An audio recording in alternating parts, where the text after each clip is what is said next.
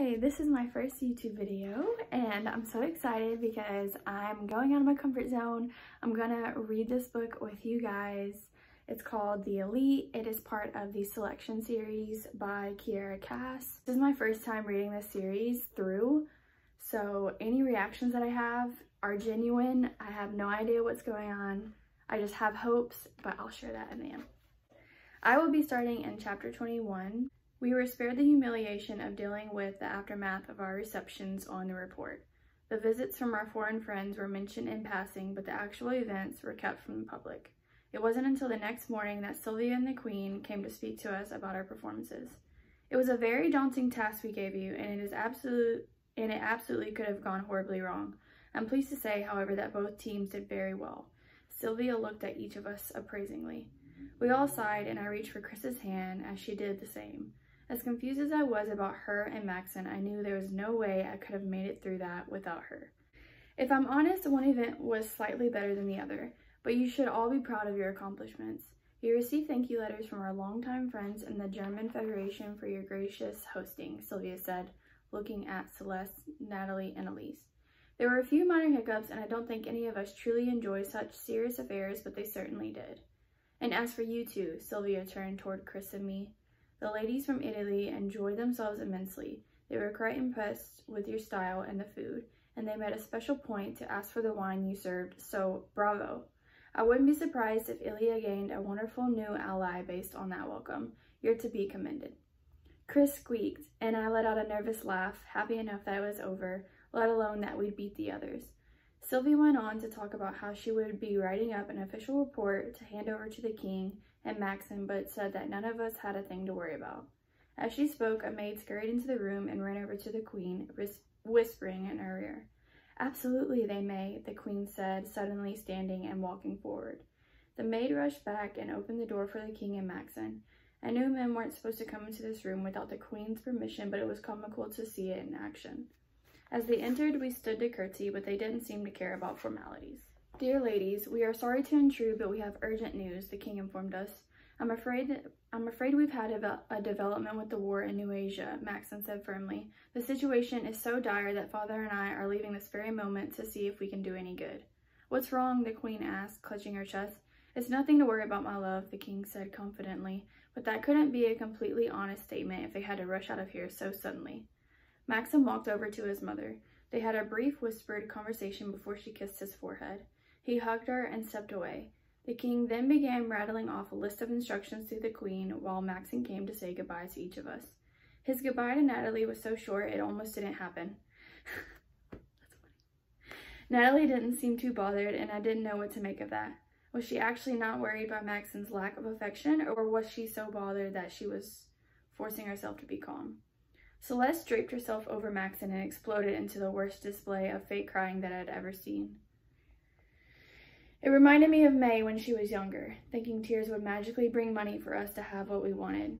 When he went to untangle himself, she planted a kiss on his lips that he promptly, and in as a polite manner as possible, wiped away after his back was turned. Elise and Kriss were so close that I heard his goodbyes to them. Call ahead and tell them to go easy on us, he said to Elise. I'd almost forgotten that the main reason she was still here was that she had family ties to leaders in New Asia. I wondered if this war going downhill would cost her her spot. Then I suddenly realized that I had no clue what Illéa stood to lose if we lost this war. If you got me a phone, I will talk to my parents, she promised. Maxon nodded and kissed Elise's hand, then walked over to Kriss. She immediately laced her fingers in his. Will you be in danger? she asked quietly, her voice beginning to shake. I don't know. During our last trip to Asia, the situation wasn't nearly so tense. I can't be sure this time. His voice was so tender, I felt they should have been having this conversation in private. Kriss lifted her gaze to the ceiling and sighed, and in that quick second, Maxon looked over to me. I averted my eyes.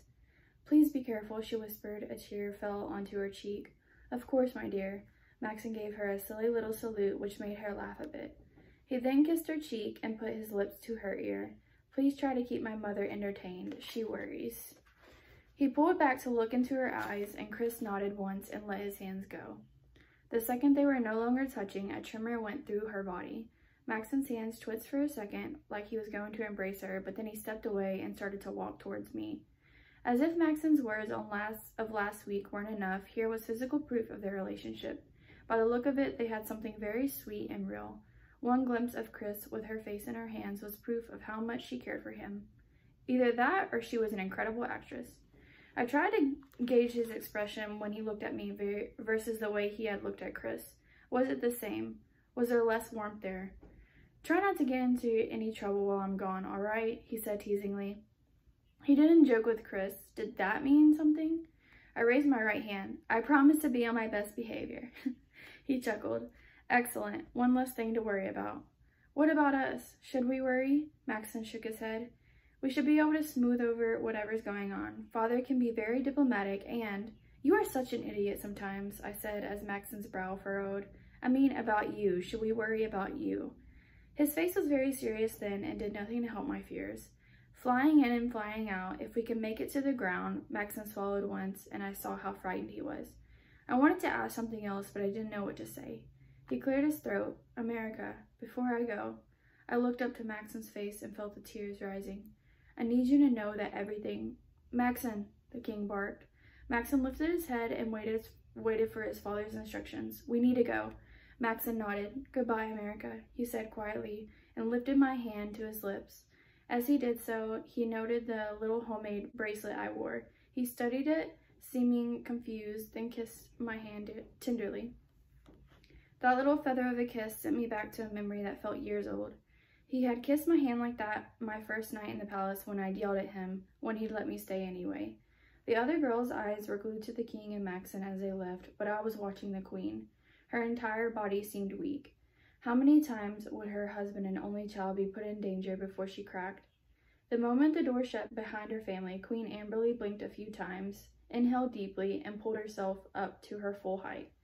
Forgive me, ladies, but this sudden news will require a lot of work for me.